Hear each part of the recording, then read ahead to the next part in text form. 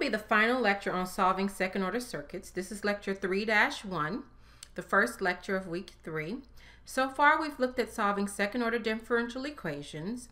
We've looked at solving second order circuits by deriving the differential equation.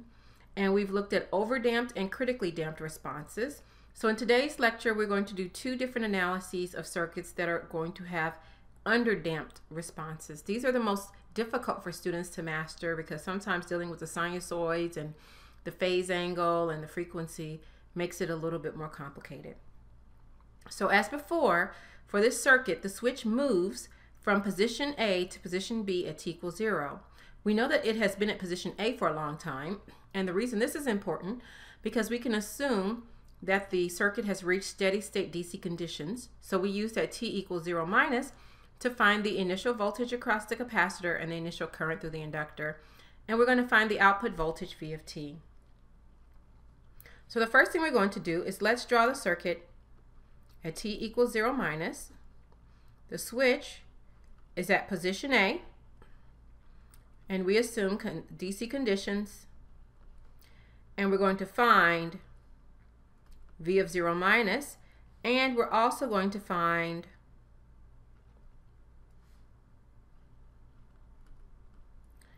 I of 0 minus. And what you'll see here is that I of t is the current through the inductor.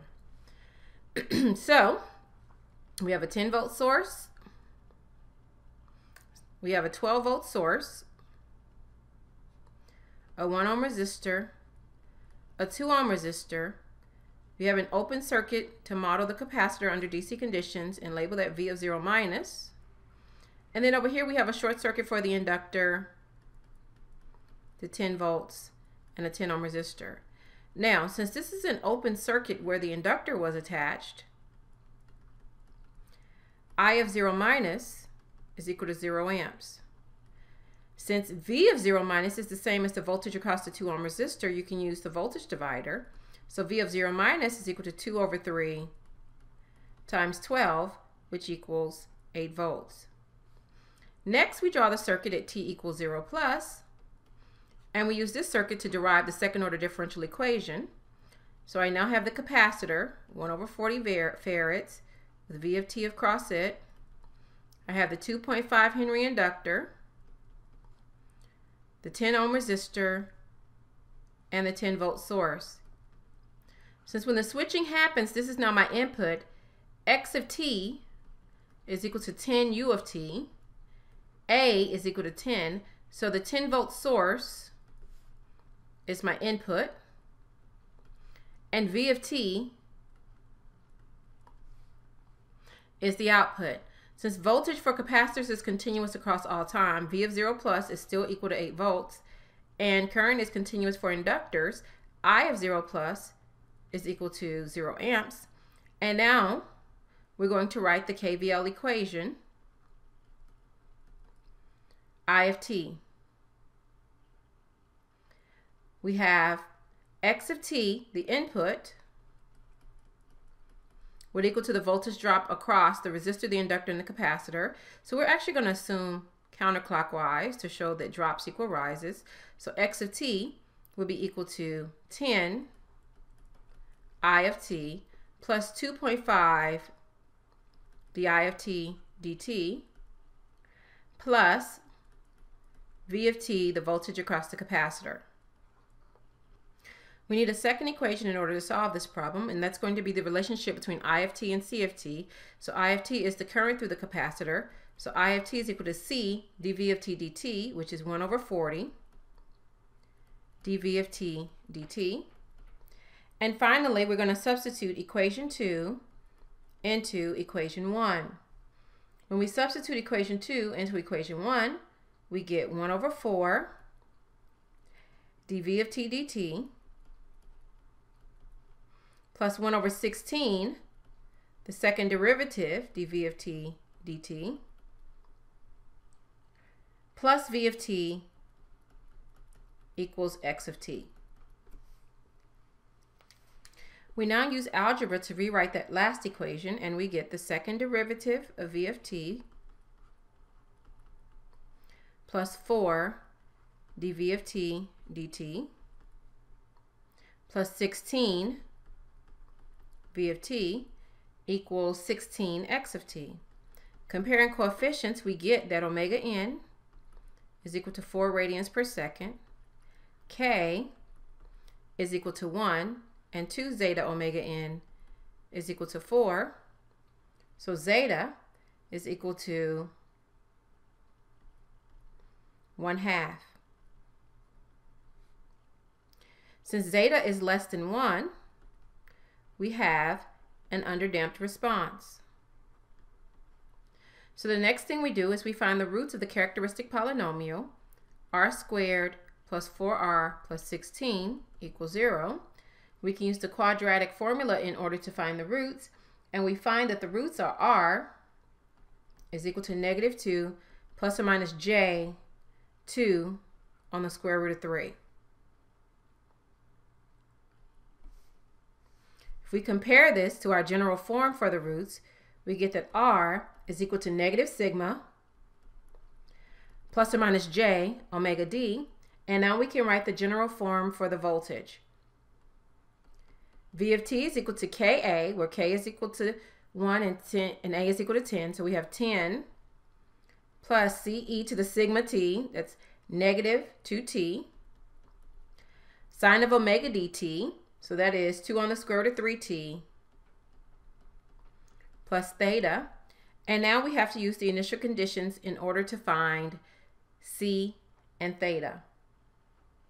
The first initial condition is that V of 0 is equal to 10 plus C sine of theta, and this equals 8. And we can rearrange this as C sine of theta equals negative 2. So now let's look at the initial current equation. The initial current equation is that I of t, which is equal to C dV of t dt,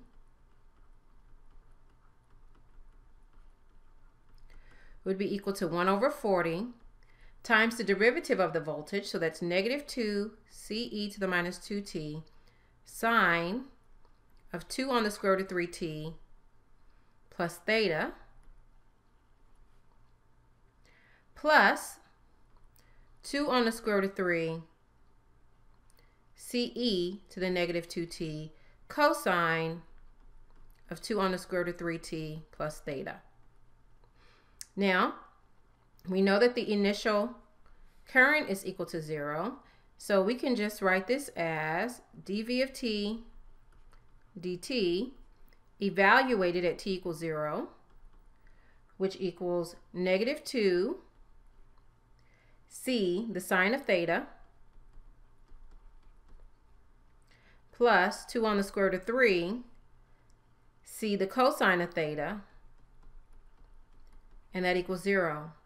We can rearrange this and solve for the tangent of theta and get that the tangent of theta is equal to 1.732 we find the arctangent of that equation and get that theta is equal to 60 degrees.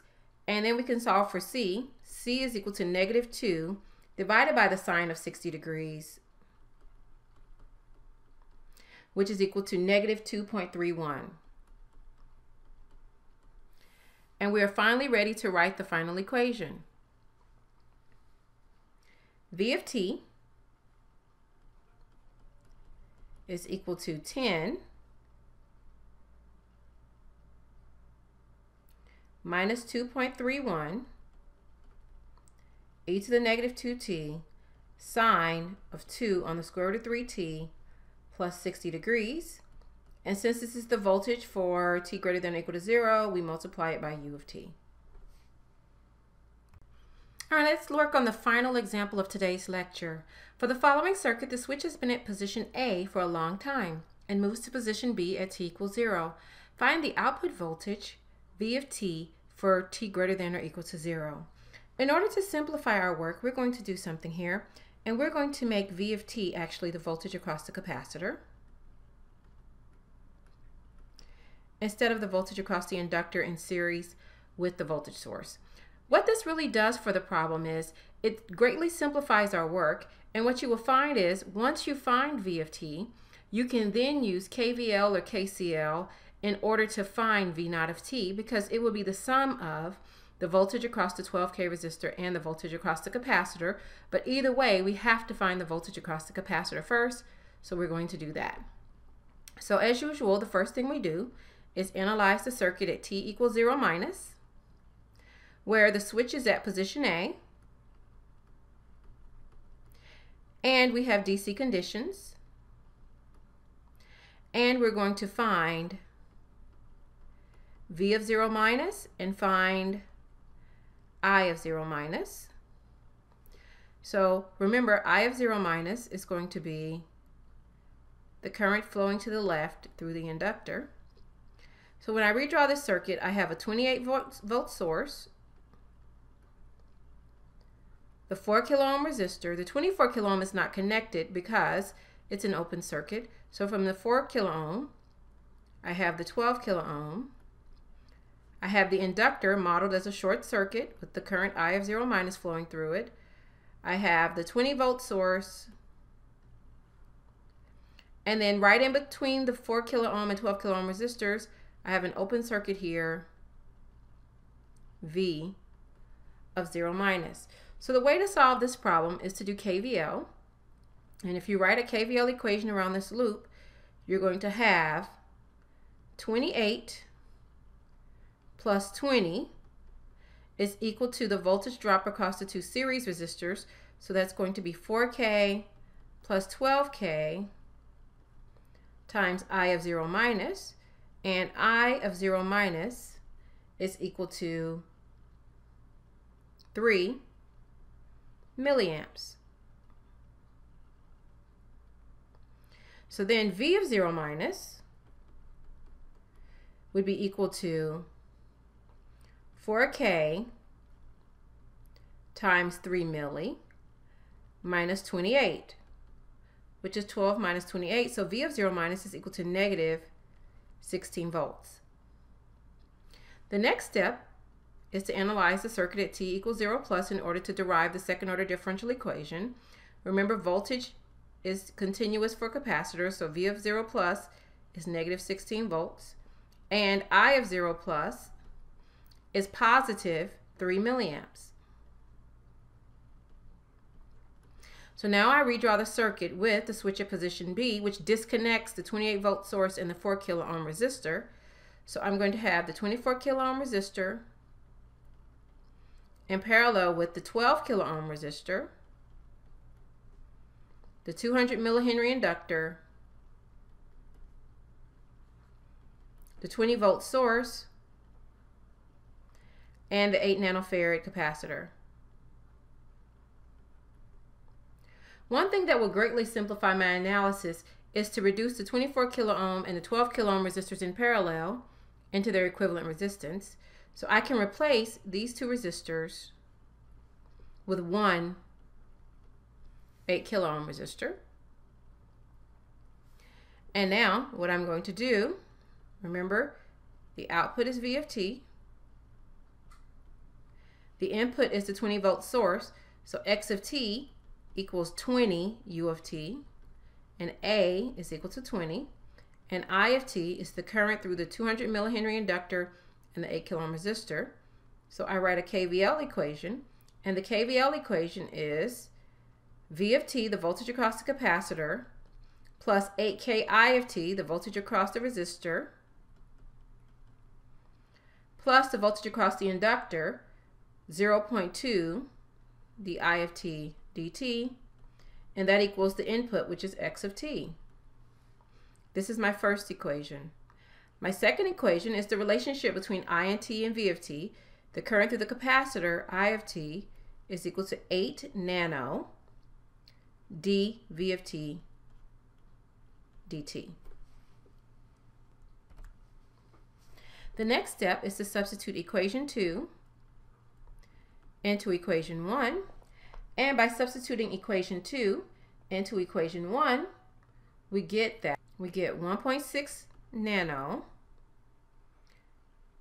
the second derivative of the voltage, plus 64 micro, the first derivative of the voltage, plus V of t equals x of t and dividing both sides of the equation by 1.6 nano to get a leading coefficient of 1 on the second derivative, we get the second derivative of the voltage plus 40k, the first derivative of the voltage, plus 625 milli V of t is equal to 625 milli x of t. So when we solve for k, zeta, and omega n, we get that omega n is equal to 25 kiloradians per second. K is equal to 1. And zeta is equal to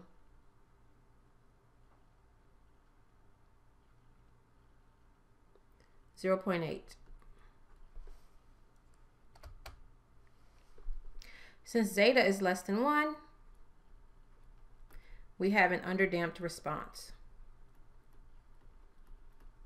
As usual, the next step is to find the characteristic polynomial r squared plus 40kr plus 625 mega equals 0. And we use the quadratic equation to solve. So we have r is equal to negative 20k plus or minus j 15k. So the form for an underdamped response is V of t equals Ka 20 plus Ce to the negative 20 kt sine of 15 kt plus theta and the initial condition for the voltage is that V of 0 is equal to 20 plus C sine of theta. And that equals negative 16. So C sine of theta is equal to negative 36. So now we need to use the initial current in order to find C, or theta. So I of t is equal to C dV of t dt. So it's going to be 8 nano times the first derivative of the voltage, dV of t dt, which equals 8 nano times the quantity, negative 20 kc, e to the negative 20 kt, sine of 15 kt plus theta,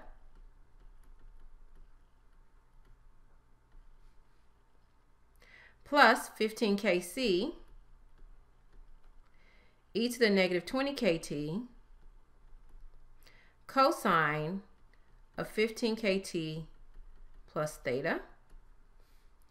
And I of 0 would be equal to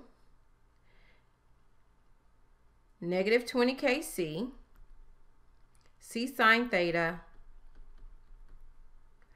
plus 15 kc, cosine of theta. And remember, we found that that was 3 milli. So it's 3 milli divided by 8 nano.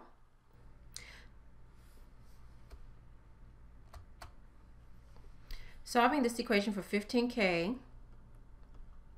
c cosine of theta is equal to 3 milli over 8 nano plus 20k c sine of theta. And since we know that the c sine of theta is equal to negative 36, we can solve this equation for c cosine of theta, which is equal to negative 23. And so now we have c cosine of theta is negative 23, c sine of theta is negative 36. So we can get that the tangent of theta is equal to 36 over 23. And the arctangent of that equation gives us that theta is equal to 57 degrees. And C is equal to negative 36 divided by the sine of 57 degrees. So C is equal to negative 42.72. And finally, the answer. V of t